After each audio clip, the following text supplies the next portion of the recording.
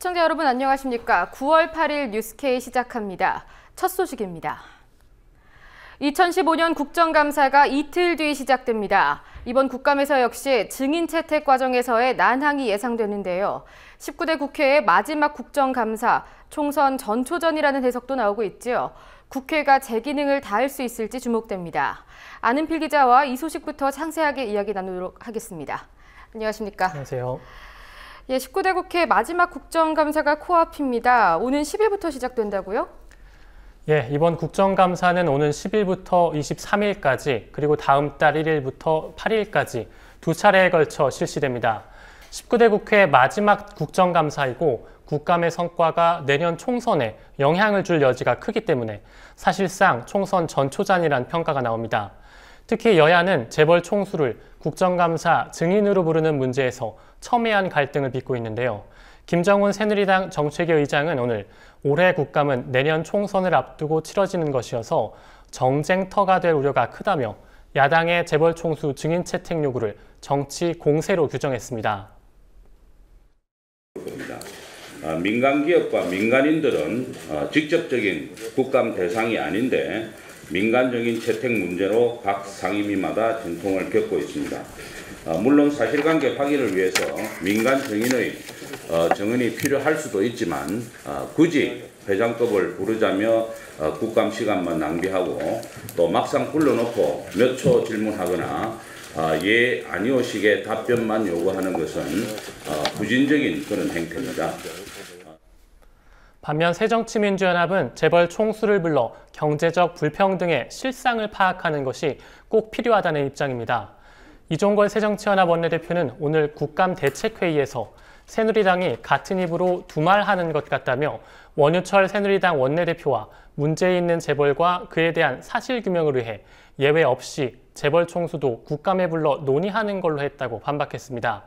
대책회의에 이어 열린 기자 간담회에 참석한 최재천 새정치연합 정책위 의장도 국정감사장에 재벌 총수를 불러 사실 확인 관련 의견을 듣는 건 필요한 일이라며 새누리당은 시민보다 재벌 총수 보호가 우선이라고 비판했습니다.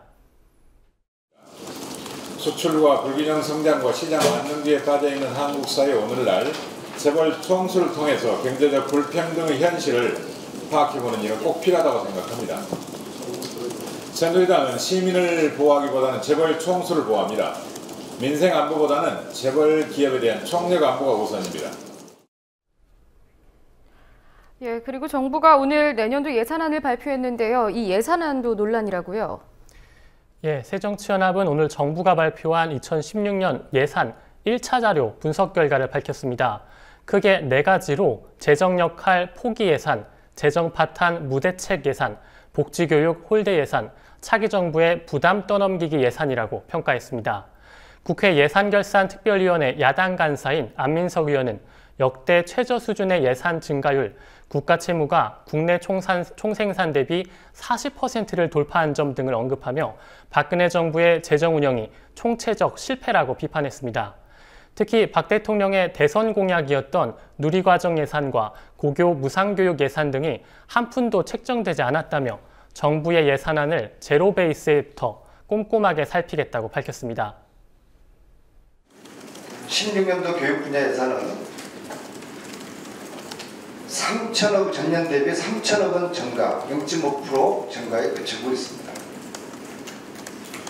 2010년 누리과정 국고 예산 영원, 국고 지원 예산 영원, 2016년도 고등학교 무상교육 지원 사업 편성 영원. 자 이러면은 박근혜 대통령의 교육 공약은 철회된 것으로 봐야 될 것입니다. 새정치연합은 또한 수출 대기업 중심이 아닌 소득 중심의 경제로 가야 한다며 재벌에게 특혜가 주어지는 예산을 대폭 삭감하겠다고도 강조했습니다. 대기업 R&D를 왜 국가 예산으로 지원까지 해야 되느냐 라는 문제 의식에서 출발하는 것이고요. 국민들이 공감할 것이라고 생각을 합니다. 이 보통 R&D 하면 어, 첨단 기술, 신기술 이런 거 생각하기 쉬운데 어, 기존의 기술을 단순하게 개량한다던가 경상적인 어, 기술 개발, 계속 지속되고 있는 그런 기술 개발에 들어가는 인건비라든지 각종 경상비가 전부 다 문제되고 있습니다. 결국 말해서 기획재정부가 발표한 내년도 예산 규모는 386조 7천억 원으로 올해 예산에 비해 약 3%가량 늘어난 규모입니다. 역대 최저 수준의 증가율인 건데요. 하지만 최대한 예산을 줄였음에도 불구하고 국내 총생산 대비 국가 채무는 사상 최초로 40%를 웃돌 것으로 예상됩니다. 정부가 그동안 법인세 정상화 등 제대로 된 세입 확충 방안을 마련하지 않은 그러한 결과라는 지적이 나옵니다.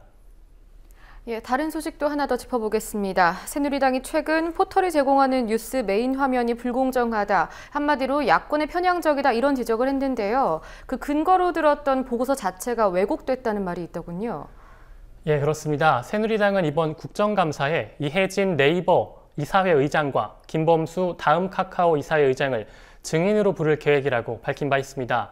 네이버와 다음의 뉴스 메인 화면 편집이 불공정하다는 이유입니다. 하지만 오히려 새누리당이 불공정 주장의 근거로 든 당내 보고서가 오히려 불공정하다는 비판이 제기됩니다.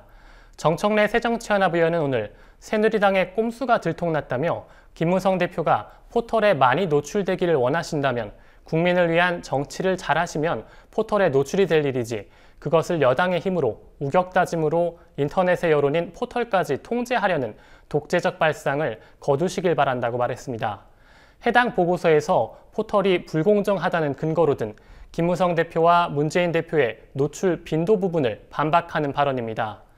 단순히 문재인 대표가 김무성 대표보다 포털 메인 화면에 자주 노출됐다는 것만으로는 불공정 여부를 따질 수 없다는 주장입니다.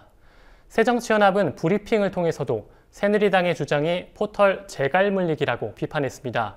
유은혜 새정치연합 대변인은 새누리당의 당내 보고서에 대해 크림빵 아빠 부실 수사 지적, KTX 수출 부진, 대학 성범죄에 대한 교육부의 대처 미흡 등 누가 봐도 명백한 정부의 잘못까지 정부 여당의 비판적 기사 또는 부정적 표현을 한 기사로 분류한 것으로 확인이 됐다며 정부 여당의 긍정적 기사만 싣는 것이 정치적 편향 없는 공정한 보도라는 것인지 기가 막힐 노릇이라고 밝혔습니다.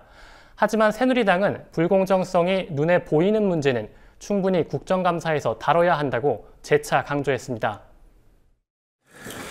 어, 포털에 대한 정인 신청에 대해서 야당이 전면적으로 거부를 하고 있는데 어, 야당의 입장은 충분히 이해가 갑니다만 이 불공정성이 눈에 보이는 그러한 문제 또 포털의 유수를 어, 중심으로 해서 어, 또 다른 사업에 중소 어, 영세사업자의 영역까지를 침범하고 있는 그런 부분에 대해서는 어, 충분히 어, 국정감사에서 다뤄야 된다 이런 말씀도 함께 드리겠습니다.